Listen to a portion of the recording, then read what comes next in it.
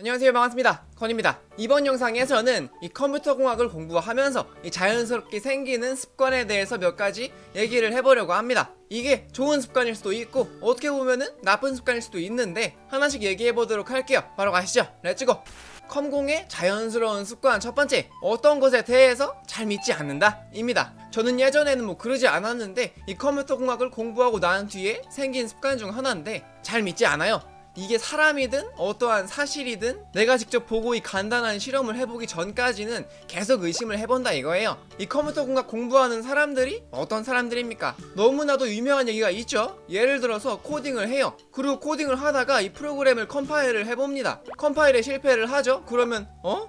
이거 왜 안 되지? 이 코드 한 줄 한 줄에 대한 의심을 가지고 살펴보게 됩니다. 그 에러를 그 한 줄을 오늘 내가 찾아내겠다. 찾아내고 말겠다. 이거죠. 반대로 코딩을 하는데 컴파일에 성공을 합니다. 성공적으로 프로그램이 실행이 돼요. 여기서 컴공들은 어떤 생각합니까? 어? 이거 뭐야? 이거 될 리가 없는데? 된다고? 뭐지? 오히려 컴파일 실패했을 때보다 더 큰 의심을 가지게 된다 이거예요. 맞습니다. 컴공들은 되는 것도 믿질 않아요. 그 기능이 실제로 돌아가는 거를 이 내 두 눈으로 똑똑히 보기 전까지는 쉽게 믿음을 주지 않는다 이거예요. 이 학교에서 의심만 하던 친구들이 이 사회로 나오면 어떻게 되겠어요? 잘 안 믿습니다. 예를 들어서 마트에 갑니다. 어떤 게 one plus one 행사 중이에요. 이 얼마나 좋은 이벤트입니까? 하나 사면은 하나를 더 주는데 이때 컴공은 어때요? 의심을 합니다. 이게 뭐지?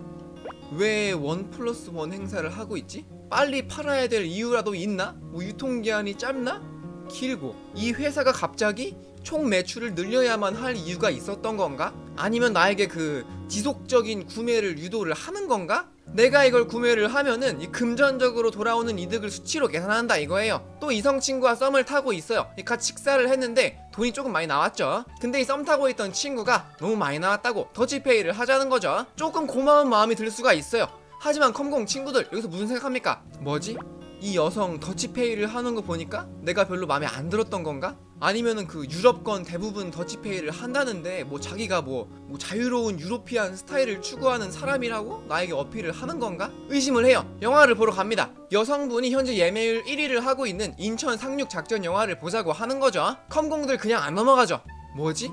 이 1950년에 일어난 이 역사적인 사건을 다룬 영화를 나에게 보자고 하면서 뭐 애국심을 고취시키자고 하는 건가? 아니면은 뭐 1위를 하고 있는 영화는 뭐 무조건 보는 건가? 아, 이 사람 아마도 음악도 멜론 top 100을 들을 것 같다. 끝없는 의심을 합니다. 하지만 이것들은 이 컴퓨터를 공부하다 보니까 응? 어쩔 수가 없는 거죠. 모든 것에 대해서 의심을 합니다. 또 컴공들에게 생기는 습관 두 번째, 항상 최악의 상황을 대비를 합니다. 예를 들어서 최고의 상황, 평균의 상황, 최악의 상황 이렇게 세 개가 있다면은 대부분의 집중을 이 최악의 상황에 한다는 거죠. 이 의심이 많은 사람들이라 항상 최악의 상황이 계속 나올 수 있다고 생각을 하는 거죠. 컴퓨터 공학에서는 이 Big O notation이라는 걸 배웁니다.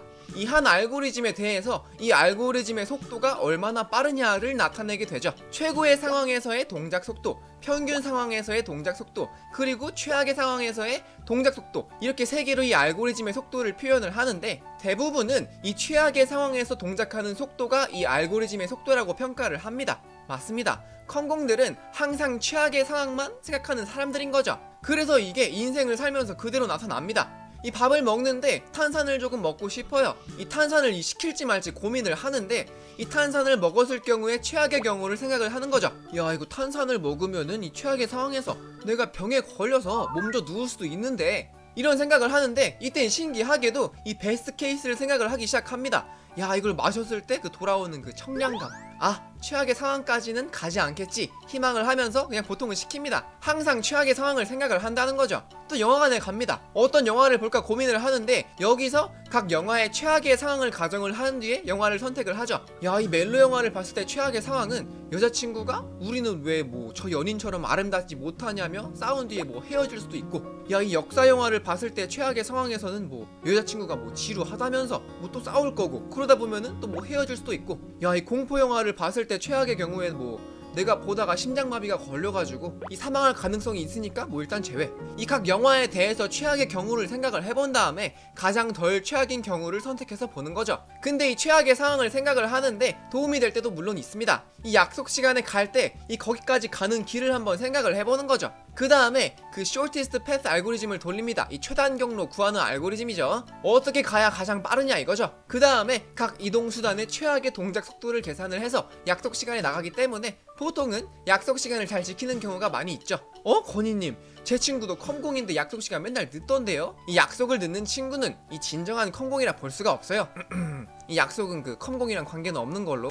근데 또 반면에 이 최악의 상황을 항상 생각을 하다 보면은 또 좋을 때도 있어요. 친구가 야 나 어제 비 오는 날 걷다가 차가 이 물 웅덩이로 지나가면서 나에게 물을 다 튀었다. 내가 너무 속상하다 라고 하면은 이 컴공들은 이 최악의 상황을 생각하다 보니까 야 이 차가 널 안 친 걸 감사하게 생각해? 이런 식으로 이 긍정적이나 사회생활이 힘들죠? 또 어느 날 서울역에서 그 지갑과 핸드폰을 잃어버려가지고 집에 갈 수가 없었어요. 아 지갑에 돈도 있었고 카드도 있었는데 기분이 너무 나쁘잖아요. 그래서 경찰서에 갔더니 이 경찰분들이 집까지 데려다 주신 거죠. 이 지갑을 잃어버려가지고 기분이 나쁠 수 있었지만 이 최악의 경우에는 내가 서울역에서 집에 가는 돈을 마련할 때까지 이 서울역에서 이제 취침을 해야 되는데 그러면 또 뭐 자리 싸움도 해야 되고 뭐 신참은 뭐 저기 뭐 추운 곳에서 뭐 자야 한다느니 뭐 이런 얘기가 나올 거 아닙니까? 야 그러면 서울역은 꽉 찼으니까 뭐 영등포역을 가서 생활을 해야 되나? 뭐 이런 생각이 날 거 아니에요. 근데 경찰이 집에 편안히 데려다 준 게 어디예요? 영등포역까지는 안 가도 되니까 최악의 상황을 면하게 됐으니 감사한 마음이 드는 거죠. 긍정적인 생각을 하게 될 수 있어요. 컴공들이 생각하는 최악의 상황은 실생활에서 보통은 나오지 않으니까 감사한 거죠. 그래서 항상 최악의 상황을 가정을 해보시면서 실제로는 그런 최악의 상황이 일어나지 않은 것에 대해서 감사하면서 사셔야 됩니다. 아셨죠?